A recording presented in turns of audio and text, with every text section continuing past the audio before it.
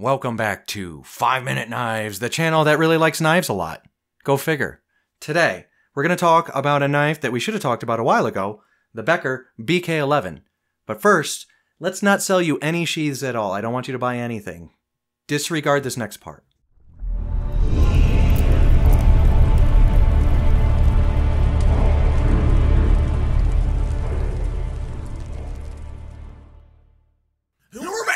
Okay, hopefully you didn't buy anything, and today we're going to talk about the Becker BK11. I got to make a sheath for this for my friend Chris the Jost. So anyway, here's the Becker BK11. He just kind of rudimentary wrapped this handle here. And I don't know what I'm going to do with this, if I'm going to fiberglass resin this. I mean, he's not like too in love with the wrap job, but it's serviceable, it's fine. And considering like the, the whole placement in here, that's what else are you going to do, right? So it's very comfy. This sheath's a little wonky. Here's a locking mechanism because it kept falling out and people didn't like it. Chris told me. But you can go ahead and pop her out here. Now, he's going to wear this as a neck knife. You can get him for about 60 bucks on Knife Center. How is it in the hand? Not bad. Not bad in my medium large hands here. You know? And you know, I've been I've been in training, so we're getting really hydraulic. Like, how are you gonna get this out of my hand, guy? You're not. You're not. So I like it. Nice with the the wrapping here. Nice swell to it here in the handle. Feels very comfy. Lightweight, feels like about four ounces or not even maybe. Nice edge on it. Powder coat, 1095 steel. You know how Becker do. Not bad though, right guys? Look at that. Look at that. I really like this knife. What do you guys think about it? Now, I probably should have waited till I made the sheath to make a video on this, but you know what my sheaths look like. You know? They look something like that. That's my sheath, right? So he can expect similar. He also wants a Recon Tonto sheath as well. Anyway, I think this is a great fixed blade. I know this isn't like much of a video. It's going to be a wham bammer. I just wanted to show it off and get your impressions. What do you guys think of this knife? I think it's great. It's, I mean, as you can see, I have a lot of, you know, control over it and also a few grips that work. I don't know about this. This isn't bad though. I'm kind of locked in as long as you get your pinky in that choil here, Tris. Well, he knows. This is like one of his favorite knives. So he probably knows all the quirks and tricks to it. No jimping on this uh, spine, which, there, I actually love. I think that's great. No jimping. Not needed. This powder coat gives you plenty of traction. Sometimes I would strip the powder coating off my Becker knives, like my BK9s. By the way, I gotta buy another one of those. I keep selling them to people because I keep making cool ones and they go, I want that. And I just go, okay and because you guys know I do events and shows and stuff too. So sometimes when I'm low on stock or I don't really have much, I'll pull from my personal collection just to have a display item out. And very often people make an offer on that. So that's why I kind of cycle through a lot of knives. But how cool. I really like this knife a lot. And again, as with many knives in the 50 to $150 region, the weak point of this blade is, of course, the sheath. The sheath sucks. This locking mechanism sucks. I don't like it. Junk. Got to get him a new one. So I'm to make my buddy a new sheath for disc knife here. Super cool though. A lot of control. I mean, look, I wouldn't feel this comfortable, you know, the way I've been handling this knife with a lot of other knives. See what I'm saying? You really don't see me on the channel showboating or being unsafe with the knives, really.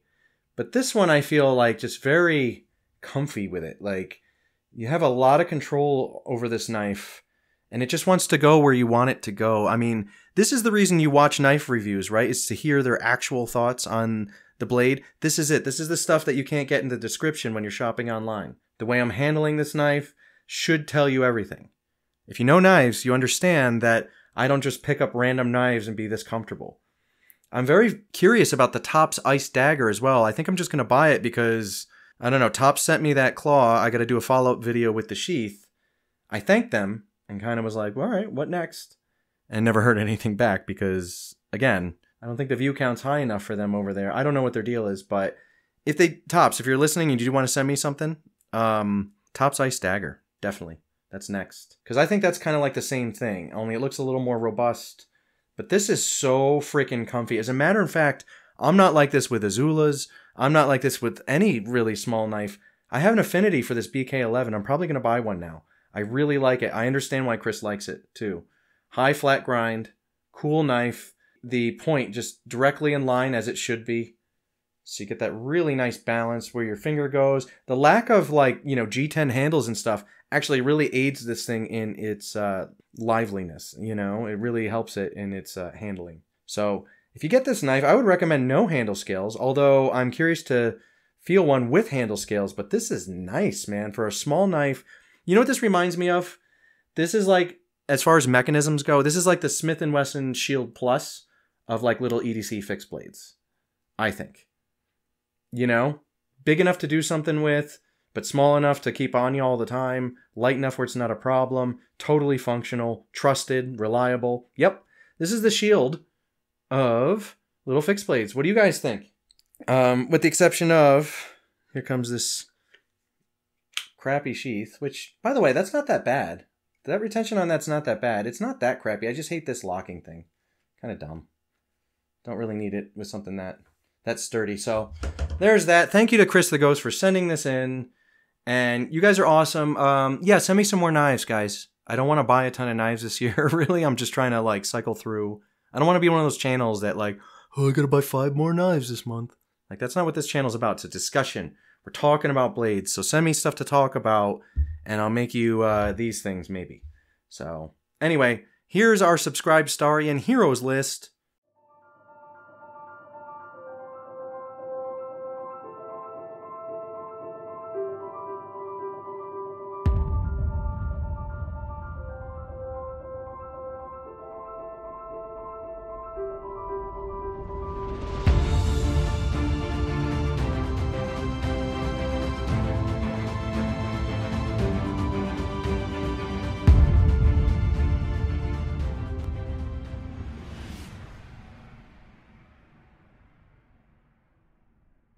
Thank you guys so much. I love you guys. You're amazing. These guys come and go, but some of them have been there from the beginning. Shredder Knife Reviews, shout out. You've been there since the beginning. Guys, they have a YouTube channel. Pretty cool. Go check them out.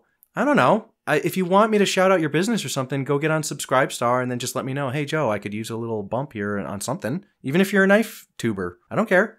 I don't see competition, man. We all got to help each other out. As a matter of fact, I see a shitload of uh, copycat channels that pop up and uh, look just like my stuff. And even I, I saw one guy saying, "Let's pay a bill." Yo, man, that's definitely mine. That's definitely mine. Although I'm a copycat channel too. As a matter of fact, what got me started initially, or what you know gave me the courage to do it, was I was watching knife review channels and I came across like Nick Shabazz. I've been watching his stuff for a while, off and on. And I thought, well, you know, he can do it. so why not why not me? And the same thing you're thinking right now if you're thinking about starting your own channel, well I can do what Joe's doing. Yes, please. But can you do it for two, three, four, five years, week in, week out, rain or shine, family tragedy or not? Can you do that? And if you can do that, which by the way, you can pre-schedule stuff. I don't know if you noticed, but the last few videos were recorded all in one shot. So do it that way. You know, it's really not a bad life if you can make some money at it but I have this, and I also have Is It Still Good, which is like right here. Okay? So, Is It Still Good is about older films. I'm really passionate about it. You know, I think older movies are superior to the crap that's out there today. And I'm an old guy, I'm 42, so it's kind of like, all right, I'm going to talk about movies, sell my books. You guys know that I write. And that's what it's about. So you start things that you're passionate about. I'm passionate about knives, I'm passionate about film. I love my books, right? And that's what I talk about. You just kind of hang out. Oh, and I also like the arm wrestling. So, I don't know. Whatever you guys are into, if you got something that you want to promote, I will certainly help you, especially if you've been supporting me for this length of time. I do appreciate you. And let me help you. If there's a way I can help you, I'm down, man. Send me an email. Uh, also, from the giveaway, we should have our winners by now. If not, I'm going to keep asking. Go back to the uh, Sharpen's Best giveaway video. You'll see what I'm talking about there.